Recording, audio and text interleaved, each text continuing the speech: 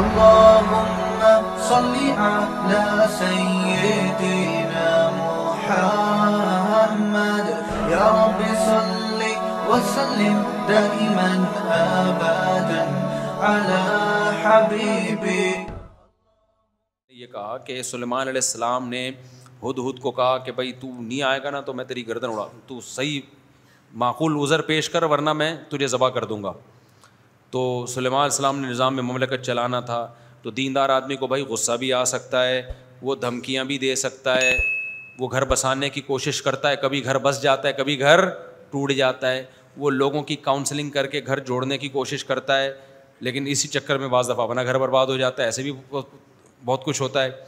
तो इसका ये मतलब नहीं है कि अब आप बदतमीज़ बन जाएँ आप घर में जाके बेबी से टेढ़े लहजे में बात करें, बोलें, दीनदार आदमी को मुफ्ती साहब ने कहा, गुस्सा भी आता है तो मुझे गुस्सा आ रहा है। समझ में आ रही है बात? मुझे बहुत गुस्सा आ रहा है, क्योंकि ये नेचुरल है नेचुरल प्रोसेस है।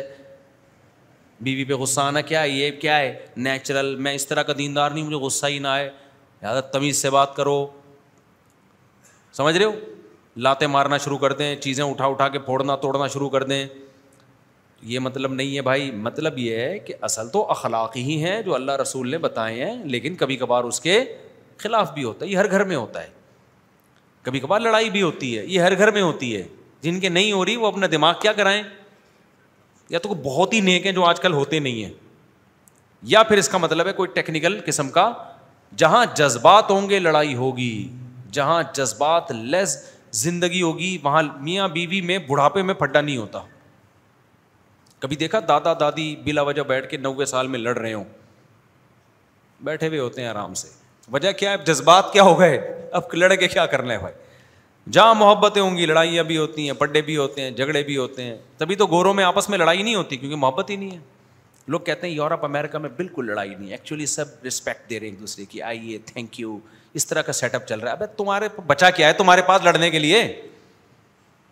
मेरे सामने ना गोरे की तारीफ़ करने से पहले सौ दफ़ा सोचा करो, बिला वजह नहीं कुछ है ही नहीं ना। इसकी मिसाल ऐसे जैसे अरबों में एक तकबर है, कौम परस्ती का। ये नज़र आता है। नहनुल अरब, हम अरब हैं। लोग कहते हैं, गोरों में ये नहीं है। गोरों में कौमें कहाँ हैं?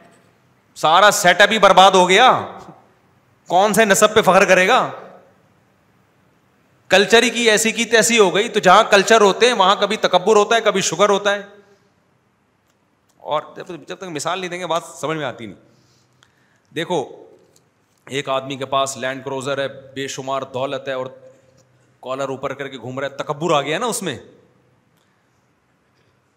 तो एक गरीब आदमी कह रहा है, जिसके पास खाने को रोटी नहीं है, रक्षा भी नहीं है, वो कह रहे मेरे अंदर तकबर नहीं है, अल्हम्दुलिल्लाह, गुरूर तकबर मैंने कभी भी नहीं किया। और इसको देखो, इसके कालर ऊपर करके घूम रहा होता है तकबर है। तो लोग क्या कहेंगे, तेरे पास तकबर के लिए है क्या? उस जैसी दौलत होती, फिर तकबर ना करता, हम सलूट करते यार। तो गोरों के पास कुछ सिस्टम ही नहीं है, कोई ख़ानदान बचे ही नहीं है, कोई रिवायात बच, सारे एक जैसे स्कूलों में पढ़ते हैं, सारे एक जैसे लॉ को फॉलो कर रहे होते हैं, कोई ख़ानदानी रिवायात ही नहीं है कि हमारी परंपरा है कि भाई बहनों को खिलाते हैं, शोहर बीवियों को खिलाते हैं होता है ना, हमारी तो हमारी ख़ानदानी रिवायात हैं। हम अब्बा की खिदमत करते हैं, हमारे यहाँ चाचा और अब्बा जो है ना, सब एक ही जैसे समझे जाते हैं। और भाई का भी वही एहतराम है, बड़े भाई का ये तो रिवायात होती हैं तो फिर तकबर भी आता है। कभी शुक्र आता है, कभी तकबर आता है। तो अरबों का तो एक रिवायात है भाई। एक मज़हब है, ख़ानदान है। उसमें जो नेक लोग हैं, वो शुक्र अदा करते हैं। जो बिगड़े हुए हैं, वो तकबर में आ जाते हैं। अरबों में सारे मुतकबिर भी नहीं होते, बहुत से मुतवाजे भी होते हैं। गोरे की मिसाल ना कंपेयर नहीं किया करो इन चीज़ों में। उनकी बेचारों के पास कल्चर मल्चर है ही नहीं। अब गोरों में मियाँ बीवी में भी बहुत कम झगड़े होते हैं, पता है आपको? होते ही नहीं। झगड़े की कोई चीज़ है ही नहीं कम वक्तों के पास। ना गोरे ने गैस का बिल देना है, ना बिजली का बिल देना है, ना बीवी को चाय पिलानी है उसने अपने खर्चे पे, ना उसने बच्चों की, बच्चे ही नहीं है तो बच्चों की टेंशन कहाँ से हो गई? तो घर में सुकून नहीं होगा मेरे भाई। कोई टेंशन नहीं है। किसी किस्म का कोई रिलेशन ही नहीं है। अच्छा लोग कहते हैं, जब नहीं है टेंशन तो फिर हम भी वही भाई लाइफ क्यों नहीं लेकर आए? हम भी टेंशन खत्म करें। ओ भाई, ये खुद बहुत बड़ी टेंशन है। कि आपकी मोहब्बतें ही खत्म हो गई हैं, जो सुकून का ज़रिया बनती? मोहब्बतें सुकून का ज़रिया बनती हैं रिलेशन सुकून का ज़रिया बनता है। कुछ उसके थोड़े थोड़े साइड इफ़ेक्ट भी होते हैं। उन्होंने साइड इफ़ेक्ट खत्म करने के चक्कर में रिलेशन ही खत्म करके ये खुद एक बहुत बड़ी टेंशन इसकी मिसाल ऐसे है, एक आदमी खाना खाता है, उसको फिर नींद आती है, कहते हैं, यार फ्रेश नहीं रहता मेरा दिमाग, क्योंकि मैं खाना खाता हूँ ना. और फिर मुझे बैतुलखला भी जाना पड़ता है कभी कभार कब्ज भी हो जाता है, खाना ही छोड़ दो. तो कब्ज की टेंशन भी ख़त्म, जो बार बार नींद आ रही थी वो टेंशन भी ख़त्म. लेकिन ये कम टेंशन है, खाना ना खाना, जो हर वक्त एक टेंशन रहेगी एक खाने की ज़रूरत रहेगी। दस टेंशनों से आपने अपने आप को बचा के एक इतनी बड़ी टेंशन में डाल दिया कि वो तमाम टेंशनों पे हावी है। अंग्रेज़ की ज़िंदगी टेंशन फ्री है, लेकिन क्यों टेंशन फ्री है? इसलिए कि रिलेशन और मोहब्बतें ख़त्म। तो ये खुद एक बहुत बड़ी टेंशन है। क्योंकि इंसान को अल्लाह ने इंडिविजुअल नहीं बनाया रहने के लिए। इंसान उन मखलूक़ात में से है जो जत्थे और ग्रोह बना के रहते हैं। उनमें बाप भी होता है, माँ भी, खाला भी फुप्पी भी, नानी भी, दादी भी, भतीजे भी, भांजे भी, बहुएँ भी, दामाद भी, इसमें ग्रुप में अल्लाह ने इंसान को बनाया है। तभी तो अल्लाह ने इंसान की नेचर बयान की है फ़जा अलहू नसबम व सेहरा। हमने तुम्हें पानी से बनाया और ददियाल और ननियाल वाला बनाया, हमने तुम्हें, ससुराल वाला बनाया। तो ये खुदा ने बनाया है। अब जो ददियाल ननियाल ससुराल वाला नहीं होगा तो नेचर से हट गया ना वो? तो नेचर से हट के सुकून मिलेगा या ये बेसुकूनी की तरफ़ जाएगा वो? क्या हो गया भाईजान?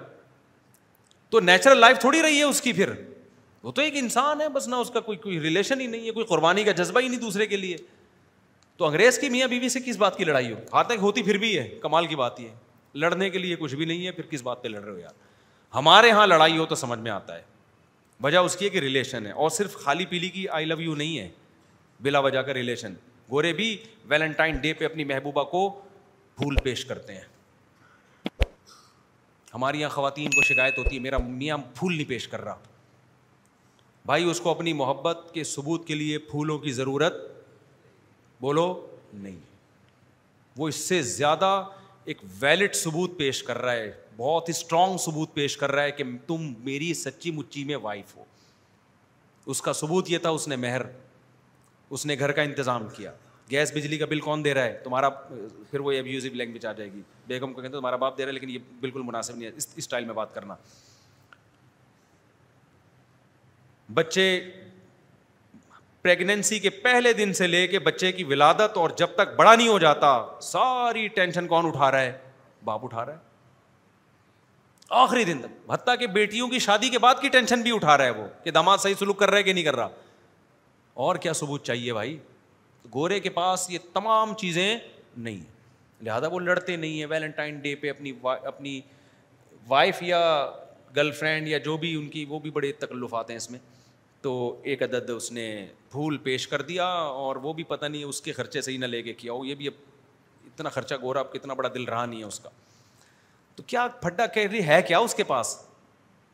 हमारे नाना से जब कोई पूछता था कि आपके घर में खैरियत है, वो कहते थे, खैरियत कम वक्तों के यहाँ होती है। सही है ना? जिनके कोई हो ही नहीं। हमारे तो बहू हैं, दामाद हैं, बेटे हैं, पोते हैं, पोतियाँ हैं, बेटियाँ हैं। कभी किसी के सर में दर्द है, कभी किसी का मूड ऑफ़ है, उसको मनाने में लगे हुए हैं, कभी कोई बेरोजगार है, वो सलवातें सुन रहा है तो आगे से एक दिन उसने भी सुना दी, खैरियत किन के यहाँ होती है मेरे भाई? कम वक्तों के बदकिस्मतों के यहाँ होती हैं, जिनके यहाँ हज़ार हज़ार गज के बंगले और दीवारें हों। मैं ऐसे मालदारों के घर में बार बार बताता हूँ, जाता हूँ, हज़ार गज का बंगला एक बुढ़ा बुढ़ी बैठे हुए हैं, खैरियत ही खैरियत है। लेकिन उस खैरियत में डिप्रेशन में जा रहे हैं। उस खैरियत में कहाँ जा रहे हैं? डिप्रेशन हमारे यहाँ तो सब चीज़ें चल रही हैं। उस दिन क्या हुआ? अब ज़ाहिर है हमारे घर ज़्यादा है तो खैरियत का रेशो भी थोड़ा सा कम होगा हमारे यहाँ। सही है। कहीं ना कहीं कुछ ना कुछ ऊँच नीच हल्की फुल्की झड़पें चलती रहती है। बॉर्डर पे लड़ाइयाँ हल्की फुल्की ना चलती रहती हैं हमारे घर में। मोहब्बतें हैं तो झड़पें भी होंगी ना हल्की फुल्की। बच्चे भी हैं।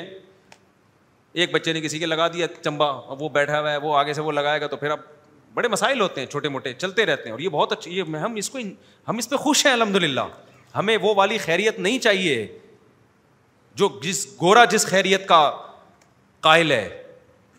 वो वाली नहीं चाहिए भाई हमें। तो एक दिन क्या हुआ, वो अभी क्या बताया यार अपनी घर की बातें अच्छा भी नहीं लगता बताना। मेरा कहीं घर में हल्की फुल्की सी ऊंच नीच हो गई, मुझे मीटर बहुत घूम गया ना उस दिन, गुस्सा मुझे ज़्यादा आ गया। मैंने कहा, यार, अब मैं घर में रहा तो फिर लड़ाई हो जाएगी तो घर से शॉर्ट हो जाओ। बेहतर यही है, कहाँ चले जाओ? घर से निकल जाओ। सबसे बेहतर तरीका यही होता है, मियाँ बीवी में कहीं ऊँच नीच हो जाए तो घर से निकल जाओ। मैं घर से निकल गया। कहाँ जाए भाई? दूसरे घर में चला गया। अच्छा जब गुस्से में आदमी होता है तो उसको छोटी बात बहुत बुरी लगती है। दूसरे घर में कोई छोटी सी बात थी जो ज़्यादा बड़ी नहीं थी, लेकिन मेरी मर्ज़ी के खिलाफ थी वो। तो मैं चूँकि गुस्से से आया था तो मुझे वो छोटी बात लगी बुरी। तो मैंने डांट दिया ज़रा ज़ोर से। हालाँकि वो इतनी डांटने की बात नहीं, गुस्सा पहले उधर आया हुआ था तो मैंने कहा, पार्सल करो ना, कहीं ना कहीं तो निकालो उसको। अच्छा मुझे अंदाज़ा हुआ कि यार ये थोड़ा मैंने क्या कर दिया है? ये इतना बनता नहीं था, लेकिन मैं चूँकि खुद गुस्से में था तो मैंने वो पार्सल कर दिया। अब मैंने कहा ये नहीं, जंग यहाँ पे झड़पे ना शुरू हो जाए कहीं। यहाँ से भी क्या करो? मूव करो फ़ौरन गोरे गोरे को ये बातें समझ में नहीं आएँगी। हम वहाँ से निकले।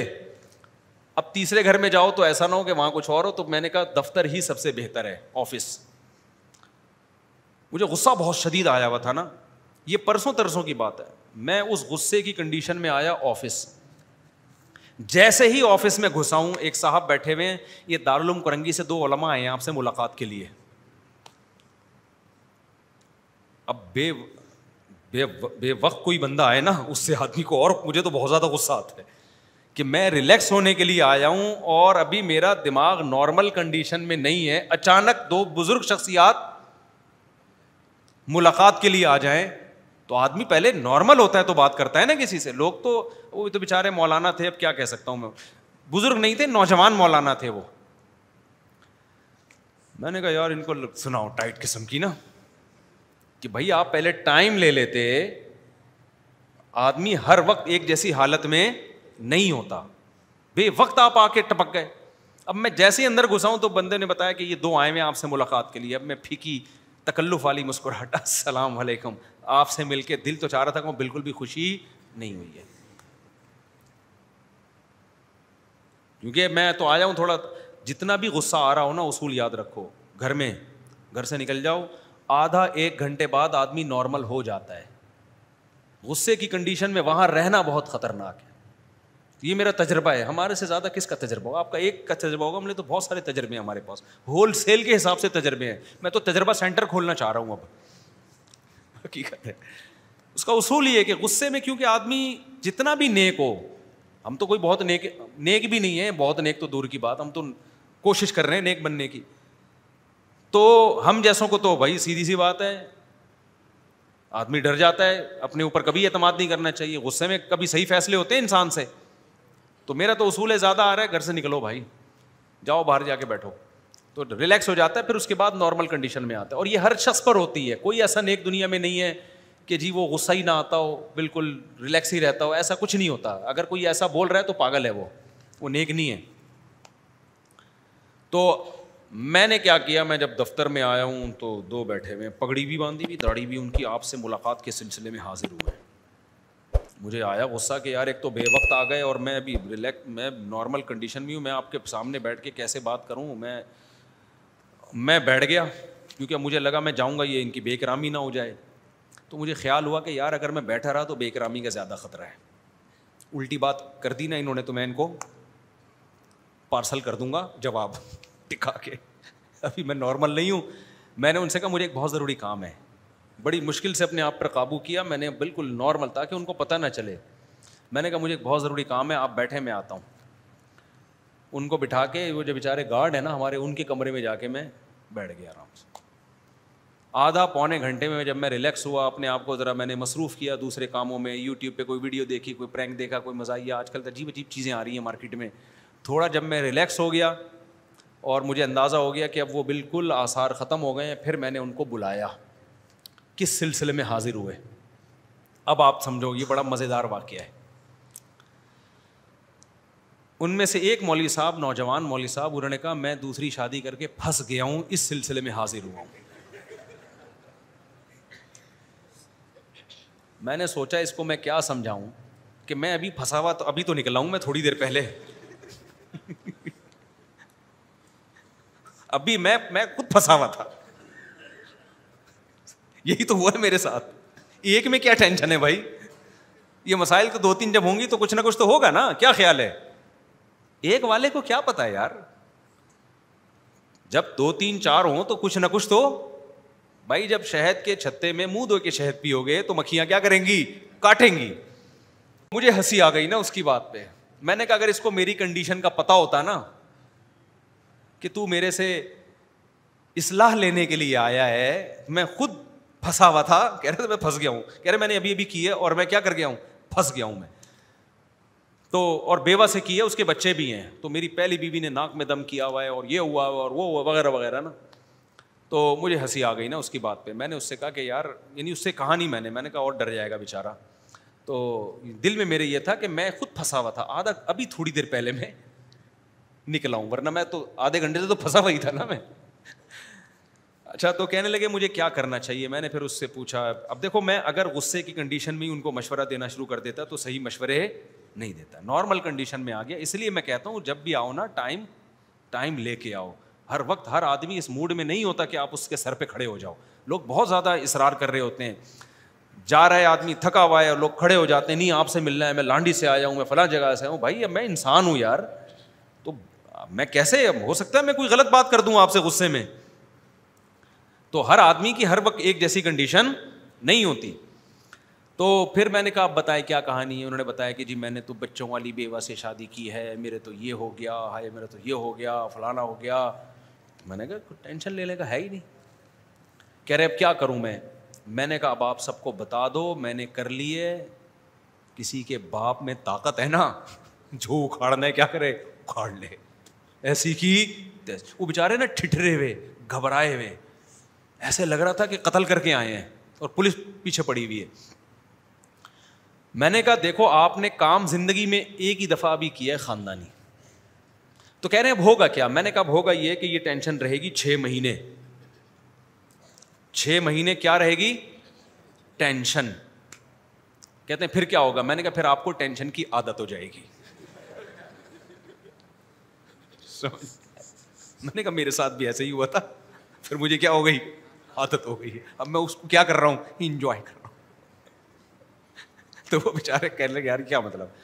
मैंने कहा, थोड़ी कम हो जाएगी, टेंशन इतनी नहीं रहेगी, लेकिन अब ये दिमाग से निकाल दो कि टेंशन फ्री ज़िंदगी। अब वो चूँकि घबराने लगे कि, यार, ये क्या, अब तो हमें मैंने कहा, आदत हो जाएगी आपको, ऐसा नहीं है। जो कंडीशन इस वक्त हो रही है ना, वो नहीं रहेगी। तो कहते हैं, क्या फ़ायदा कुछ नहीं? मैंने कहा, भाई, फ़ायदा भी बहुत है, अल्लाह के बंदे, ये तो एक पहलू है ना, इसके और बहुत सारे पहलू भी तो हैं। तो आपकी दोनों बेगम आपसे मोहब्बत भी करेंगे इनशाला ऐसा नहीं होगा यानी मेरी पहली बीवी जा रही है छोड़ के मुझे। मैंने कहा, चली जाएगी, वापस आ जाएगी। उसको आधा मियाँ जाने से गम हो रहा है तो पूरा मियाँ कैसे किसी को दे सकती है वो? खुद सोचो यार, आप आधा लड्डू काट के किसी को दे रहे हो तो आपको तकलीफ़ हो रही है। तो आप तकलीफ़ से बचने के लिए पूरा लड्डू उसको दे सकते हो? मैंने कहा, आपकी फ़र्स्ट वाइफ को तकलीफ़ हुई है कि मेरा आधा मियाँ किसी और का हो गया। तो क्या गुस्से में वो बकिया आधा भी दे देगी उसको? कभी नहीं देगी। वो जाएगी छः सात महीने के बाद, उसको लगेगा या तो मियाँ लेस हो गई। तो थोड़ा सा जो मिल रहा था कम अज़ कम, वो तो लो ना, इसलिए वो छः महीने बाद वापस आ जाएगी। ये इन मैं आपको उम्मीद दिलाता हूँ, ऐसा होता है, वो छः सात महीने में आ जाएगी वापस इन बाकी ये कि मैंने कहा इंजॉय करो। टेंशन ले क्यों रहे हो? थोड़ी देर की होती है टेंशन घर से बाहर निकल जाया करो। जब सेट हो जाओ तो फिर वापस जाओ। फिर जब टेंशन हो तो छः आठ दफ़ा ऐसा होगा तो बेगम भी समझ जाएगी, भाई, ये बात करो ही नहीं कि बंदा ही घर से स्टार्ट हो जाता है। वो भी तो थोड़ी सी, उसमें भी तो अल्लाह ने अकल दी होगी ना। तो मैंने कहा, इसकी बरकतें, मैंने कहा, सवाब कितना किया, अगर उस बेवा से आप शादी ना करते, सोसाइटी में वो जिना पर मजबूर होती कि नहीं होती? बताओ ना। उसके बच्चों की कफालत ना होती, जानी बनती वो, ये। और कैसे इस इस सोसाइटी में कैसे बच सकती है एक औरत? मैंने कहा, वो काम किया जो पैगंबरों ने किया है। हज़रत इब्राहिम की दो बीवियाँ थी, उनमें भी टेंशन होती थी। हमारे नबी की नौ बीवियाँ थी। एक दफ़ा आप सल्लल्लाहु अलैहि वसल्लम का घर में ऊंच नीच हुई। आप सल्लल्लाहु अलैहि वसल्लम इतने परेशान हुए कि घर से एक महीने के लिए चले गए। और कसम उठा ली कि मैं अपनी किसी जोजा के करीब नहीं आऊँगा। उनतीस दिन के बाद वापस आए हैं। तो साहबा ने कहा यार रसोल्ला आपने तो एक महीने की कसम उठाई थी। फरमाया, महीना उनतीस दिन का है। ठीक है ना? महीना कितने दिन का है? उनतीस। चाँद नज़र आ गया था। फरमाया, एक महीने की तो उनतीस दिन का महीना है। तो हमारे पैगंबर से बड़ा कौन हो सकता है? इसके बाद भी आपने कहा कि भाई, कभी नबी ने ऐसे कहा कि मैंने नौ बीवियाँ रखी तो मेरा तो तजर्बा है, भाई नहीं करो। इस ज़माने में ये बिल्कुल भी मुनासिब बोलो नहीं है। कभी कहा नबी ने? फरमाया हुब निसातीब अल्लाह ने मेरी नज़र में औरत को महबूब बना दिया है, यानी निकाह को। सबसे अट्रैक्टिव चीज़ अल्लाह ने मर्द के लिए किसको बनाया? औरत को। बेशक बीस टेंशनें दे।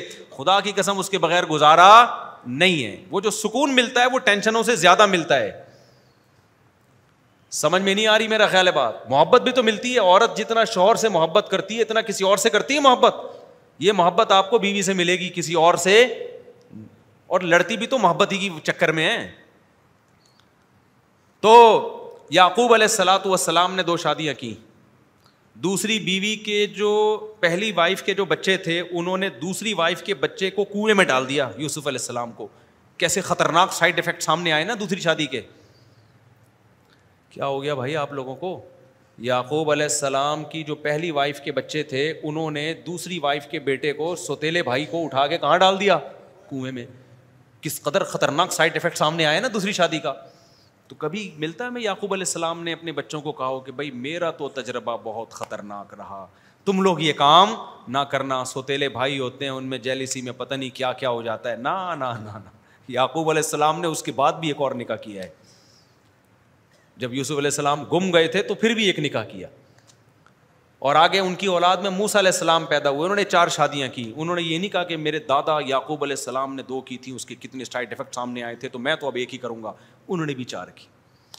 तो ये तमाम साइड इफेक्ट्स के साथ ही ये अमल क्या है? सुन्नत। इसी में अल्लाह ने बरकत रखी है। इन तमाम टेंशनों के साथ। और ये छोटी टेंशनें हैं, ये आपको बड़ी टेंशनों से बचाती हैं। नहीं आई बात समझ में तो करके देख लो और तो देखो फिर। आपको लगेगा कि यार इसमें फ़ायदे ज़्यादा हैं, वरना वही खैरियत है, खैर, फिर देखो बिल्कुल टेंशन फ्री तो एक भी ना करो फिर शादी, वो फिर गोरे वाली लाइफ है। तो कोई झगड़ा नहीं होता उनका, कोई पड्डा नहीं होता, लेकिन लटकते हैं बेचारे डिप्रेशन में जाके आखिर में। खुदकुशियों के रेशो बहुत हैं, ज़िंदगियों में किसी को किसी पे वहाँ अतमाद नहीं है। अब जो लिबरल तबका हमारा वजूद में आ रहा है ना शादी करके भी बीवी पे अतमाद नहीं होता। पता नहीं कहाँ कहाँ चक्कर चल रहा है। औरत को शोहर पे अतमाद नहीं होता। पता नहीं कहाँ कहाँ चक्कर चल रहा है इसका। तो मैंने वो जो बेचारे ने बेवा से है ना मैंने उनको बड़ी हौसला दिलाया मैंने कहा, आप, आपने जन्नत कमा ली भाई अपने लिए। बाकी ये मोस्ट वांटेड लिख दो अपनी बाइक के पीछे। क्योंकि जो आपको लोग जब टेंशन दें और आप टेंशन लेना शुरू कर दो ना तो लोग और ज़्यादा देते हैं। तो मैंने कहा, हमेशा टेंशन देना सीखो, लेना मत सीखो। उनको मैंने ऐसे हौसला दिलाया। कहने, कैसे? मैंने कहा आपने जब की है, लोग आपको बुरा भला कह रहे हैं। हाय छोटे छोटे बच्चे, पहली के उन पर तरस नहीं आया और हाय हाय, ये है ना, हाय हाय, ये हाय हाय है बहुत कर रहे होते हैं। तो मैंने कहा गरेबान खोलो और आप बोलो कि मैं बंदा ही ठीक नहीं हूँ। क्योंकि लोग आपको बुरा कहेंगे, आप जाओगे डिप्रेशन में कि मैं बुरा हो गया, मैं इतना बुरा आदमी हूँ। तो आप बोलो, भाई, मैंने कब कहा कि मैंने एक आदमी हूँ? मैं तो बहुत ही बुरा आदमी हूँ। लोग आपको कहेंगे, ठरकी। क्या कहेंगे? आप बोलो, भाई, हम तो ठरकी हैं, हम तो बुरे हैं। हमारे एक दोस्त थे, इस क्लास फेलो। तो वो सैयद थे। अच्छा एक और क्लास फेलो थे, वो जुबैरी हज़रत ज़ुबैर बिन अवाम की औलाद में थे। एक और था, वो भी सैयद था, लड़का। अब लड़के, आपको पता है कि वो नहीं नसब वसब को मानते। क्लास फेलोज जो हैं, वो तो मज़ाक उड़ाते हैं ना। तो जो कहता था मैं ज़ुबैर बिन अवाम रज़ी अल्लाह उनकी औलाद में लड़के ने, अब, तू किसी चमार की औलाद में है, तू ज़ुबैर बिन अवाम तो बड़े साहबी थे ये बकवास कर रहा है। वो डिप्रेशन में जाता, ओए, हमारा बड़ा ऊँचा ख़ानदान है भाई। दूसरा कहता, मैं सैयद हूँ। अब, तू कहाँ का सैयद आ गया? पता नहीं, ईदी सेंटर से मिला है, कहाँ से मिला है? और अपने आप को पैगंबर की तरफ़ मनसूब कर दिया। वो जाता था किसमें? डिप्रेशन में। तीसरा बड़ा टाइट था। वो मैं नहीं था, पहले मैं ये बता दूँ, क्योंकि मैं तो सैयद नहीं हूँ भाई। वो भी सैयद था। उसको जब वो कहता ना, मैं सैयद हूँ तो वो कहते हैं, अबे, तू कहाँ से सैयद? कह रही, नहीं, हम तो कुछ भी नहीं है भाई, हम तो बहुत ही बुरे लोग हैं। हम तो बुरे लोग हैं भाई, हमारा तो कोई नसब ही नहीं है। तो वो ऐसी बातें करता था कि उसको कोई छेड़ता नहीं था फिर, कि ये छेड़ ही नहीं रहा। जब इसको छेड़ो तो ये छेड़ ही नहीं रहा। तो जब लोग आपको टेंशन दिया करें ना कि तुम दो नंबर हो, तुम ये हो, आप बोले, भाई, हम दो नंबर हैं, हमने कब दावा किया मुझसे? हम ठरकी हैं। हम क्या हैं? मुझे, मैंने जब दूसरी शादी की ना तो बहुत लोगों ने कहा, ठरकी है। मैंने कहा, मैं इतना ठरकी हूँ कि तीसरी भी करूँगा मैं। मैं तो बहुत ही बुरा आदमी तो लोगों के तानों में आके अगर आप घबराना शुरू कर दिया ना तो लोग कच्चा चबा के मार देंगे, आपको बता दूँ मैं। ऐसा इज़्ज़त फिर भी नहीं देंगे। ये बता दूँ मैं इज़्ज़त फिर भी नहीं मिलेगी आपको। तो जो आपको समझ में आ रहा है, करते चले जाओ। लोगों की परवाह मत करो। लोग कहते हैं चोर है, फलाना है, डिमकाना है। जब मेरे पर तो क्या क्या इल्ज़ाम नहीं लगे? बाज लोगों ने ये कहा तो बड़ा जालिम है। घर में बड़ा जालिम है, चंगेज खान है। तो मैंने कहा, भाई, ये बात मेरे घर वाले करें ना, तू कौन होता है? मैं चंगेज नहीं, मैं हलाकू खान हूँ। मैं जब घर में जाता हूँ, सारे बेहोश हो जाते हैं। मैं चाकू लेके घर में दाखिल होता हूँ। बंदूक लेके, बम लेके ग्रेनेड होता है मेरे हाथ में, ऐसा बदतमीज आदमी हूँ मैं। तेरा क्या लेना देना? एक छोटा सा वाक्य, बस आखिरी, फिर ये टॉपिक कंप्लीट पिछले हफ़्ते एक साहब ने दूसरी शादी की। पकड़े गए। बिल आखिर बीवी ने कंप्रोमाइज कर लिया। फ़र्स्ट वाइफ ने कि चलो हो गई, मैं बर्दाश्त कर रही हूँ। बेगम के कोई थे, पता नहीं कोई बहनोई वो ज़्यादा उछल रहा था दो दो फुट ना। अब जब बेगम ने कंप्रोमाइज कर लिया है फ़र्स्ट वाइफ ने मान लिया है तो वाइफ का बहनोई उसका कोई हक बनता है? है भाई? बताओ ना। बेगम ने कंप्रोमाइज कर लिया, चलो भाई, कर लिया मुझे तकलीफ़ तो हुई है, लेकिन अब चलो, बस ठीक है। ज़िंदगी गुजारते हैं। बेगम को का रिएक्शन समझ में आता है। उसको तो मैं कहता हूँ, बर्दाश्त करो, बेचारी को तकलीफ़ हुई है। उससे बदमाशी से बात मत करो। आपने जब दूसरी की ना, और बेगम रो रही है, तकलीफ़ तो फिर बदमाशी ना दिखाओ। देखता हूँ, मैं तीसरी भी करके दिखाऊँगा। ये बेमौका है। ये बदमाशी क्या है? उसका ज़ख़म सही ज़ख़म है। औरत को शोहर से मोहब्बत होती है भाई, वो मोहब्बत डिवाइड होते हुए बहुत मुश्किल होता है उसके लिए बर्दाश्त करना। तो उसको बदमाशी ना दिखाओ कि मैं तो एक और करूँगा। नहीं, ये बेमौका बात है। उसको बताओ, बेगम, क्या करूँ? मैं मुफ्ती साहब के बयान में बैठता था हो गई, गलती हो गई। उसको तो यही, उसको तो ये बताओ मुझे तुमसे बहुत मोहब्बत है और होनी भी चाहिए। उसको टाइम भी ज़्यादा दो शुरू में। उसके ज़ख़म पे जो है ना, मरहम की ज़रूरत है। उसको बदमाशी से नहीं, उसको मोहब्बत दो, इज़्ज़त दो, पहले से ज़्यादा प्रोटोकॉल दो। कोई पड़ोसी आ रहा है लड़ने के लिए, उससे बदमाशी दिखाओ कि तेरा क्या मैं? तो बदमाशी ससुराल में नहीं दिखा रहा था मैं मैं बदमाशी अड़ोस पड़ोस में दिखा रहा था, जिनको तकलीफ़ हो रही थी दूसरी शादी पे। तो अब क्या हुआ कि वो मुझे अपनी पूरी कहानी ना उन्होंने सुनाई। ये डेढ़ दो हफ़्ते पुरानी बात है, कहने लगे कि मैं जो है, मैं मैं बर्दाश्त करता रहा, बेगम तो मेरी मान गई, उसको मैंने मोहब्बत से समझाया, लेकिन वो आए तो वो अंकल थे, वो वो अंकल भी यानी कोई जवानी अंकल थे वो तो वो ये कि वो बहुत ज़्यादा कर रहे थे, बहुत ज़्यादा जब उन्होंने वहाँ तो मुझे मुझे मुझसे एक बहुत बड़ी गलती हो गई। कह रहे, मैंने गुस्से में उनके थप्पड़ लगा दिया खींच के। हज़रत, मेरा बिल्कुल इरादा नहीं था थप्पड़ मारने का और बस मैं क्या करूँ और फिर ऐसे आँखों में नमी उसके।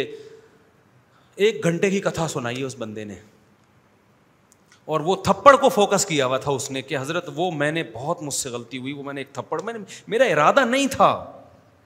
मैंने कहा, कम वक्त एक घंटे में तूने एक ही ढंग का काम किया कि उसको थप्पड़ मारा तूने और उसी पे तुझे निदामत हो रही है।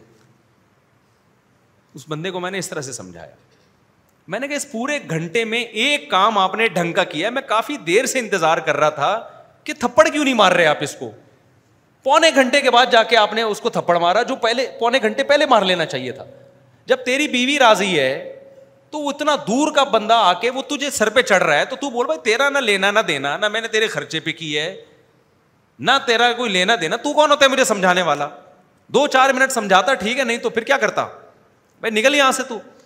मैंने कहा, इस पूरे एक घंटे में आपने एक ही तमीज का काम किया है, जो थप्पड़ वाला, और उसी पे आपको क्या हो रही है? निदामत। तो ये आपका काम आपका काम नहीं है ये दो शादियाँ। दो शादियों के लिए ज़रूरी है पहले से थप्पड़ तैयार करके रखो। थप्पड़ से मेरी मुराद? ज़रूरी नहीं थप्पड़ हो, यानी डायलॉग आपके पास होने चाहिए। वो डायलॉग ये होने चाहिए, भाई, की अपने खर्चे पे? लोग कहेंगे, ठरकी है। बोले हाँ हैं ठरकी। आपको क्या तकलीफ़ है? अपने खर्चे पे ठरकी है ना हम? आपके खर्चे पे थोड़ी ठरकी है। तो ये बदमाशी वाला जब तक आपका स्टाइल नहीं होगा, आप में कॉन्फिडेंस पैदा नहीं होगा और कौम आपको दबा दबा के ससुराल भी दबा देगा। ससुराल भी एक हद तक बर्दाश्त करना चाहिए, जहन में रखो। एक हद के बाद जाके फिर ससुराल को बोलो, भाई, आप किसमें रहो? अपनी लिमिट में रहो। अगर अपना कमाते हो, अपना खाते हो, अपना खिलाते हो तो ससुराल भी। तो ये मैं अखलाक की बात कर रहा था। अब ज़ाहिर है जिसका ये स्टाइल होगा तो लोग बोलेंगे, ये देखो, दीनदारों के अखलाक। तो भाई, हर जगह सुलेमान सलाम का हुद से बात करने का स्टाइल कुछ और था। मलका सबा से बात करने का स्टाइल कुछ और था। शुरू में तो मुसलमान साहब ने मलका सबा को भी धमकी दी थी। लेकिन जब पता चल गया, फर्मा बरदार बन के आ रही है तो फिर बड़े अच्छे अखलाक से मलका सबा से बात की है। हमारे सूफी लोग होते तो वहाँ भी एतराज़ करते कि ना महरम से बात कर रहे हैं। क्या कर रहे हैं सलमान सलाम? ना महरम को बुलाया उन्होंने अपने महल में। तो अजीब अजीब से दीनदारी के हमारे यहाँ मैार बन चुके हैं, इसको बहुत ज़्यादा असलाह की ज़रूरत है। अभी भाई, सलेमान सलाम ने उस नाम महरम को बुलाया। अच्छा ये भी इश्काल होता, देखो, जब सलेमान सलाम ने कहा ना कि इस महल में दाखिल हो जाओ तो मलका सबा ने अपनी पिंडियाँ खोली। उसको ये था कि ये पानी है। तो हमारे यहाँ के जो जो फंडामेंटलिस्ट किस्म के दीनदार हैं, वो वहाँ भी एतराज़ करते कि मलका सबा अपनी पिंडियाँ खोल रही है। तो सलेमान इस्लाम उसको जेल क्यों नहीं भिजवाया? कि एक नामहरम के सामने अपनी पिंडियाँ खोली उन्होंने। भाई, बात यह है कि ये मौका नहीं है इन चीज़ों का। आजकल क्या करते हैं? नामहरम के सामने पिंडी औरत नहीं खोल सकती। लेकिन हर जगह नहीं अलील मुनकर का मौका नहीं होता। कौन सी चीज़ बेमौका है, कौन सी बा मौका है, ये जब तक आप नहीं देखेंगे, उस वक्त तक तबलीग आपके लिए जायज़ नहीं है। आज बाज़ दफ़ा किसी खातून को इंटरव्यू दे रहे होते हैं, लोग उस पर बड़ा इतराज़ कर रहे होते हैं नाम महरम के सामने बैठे हुए हैं। भाई नाम महरम के सामने बंद कमरे में जमा होना हराम है। नाम महरम के सामने ओपनली अगर कोई बैठा है और किसी मसलत से बैठा है तो पर्दा तो औरत पे फ़र्ज़ है, मर्द पे थोड़ी फ़र्ज़ है पर्दा। तो इसमें भी लोग बड़ा इश्काल करते हैं। तो ये सब चीज़ें दीन के इल्म की कमी की वजह से। खैर, बात बहुत ज़्यादा लंबी हो गई तो वो खैरियत का जहन में रखें कि गोरों के यहाँ जो खैरियत होती है ना, उस खैरियत से आप बिल्कुल भी मुतासर नहीं। देखो, मैं उस दिन कितनी टेंशन में था। अगर मेरी शादियाँ ना होती तो वो टेंशन नहीं होती। लेकिन मैं आपको बताऊँ, शादियाँ ना होती तो ये खुशी भी ना होती जो आपको नज़र आ रही है। वो टेंशन कम है, जो कभी कभार होती है, जो इंसान को ख़ानदान से, जिसको हिंदी में परिवार कहते हैं, औलाद मिलती है, बेगमात मिलती हैं, ससुराल्स मिलते हैं, और आपको एक पूरा रिलेशन मिलता है, ये खुशियाँ उन चंद साइड इफ़ेक्ट पे भारी नहीं, बल्कि बहुत ज़्यादा भारी हैं। इसलिए इस्लाम के हुक्म को फॉलो करो छोटी मोटी टेंशनें हर घर में होती हैं, वो चलती रहेंगी हमेशा। समझते हो कि नहीं समझते हो?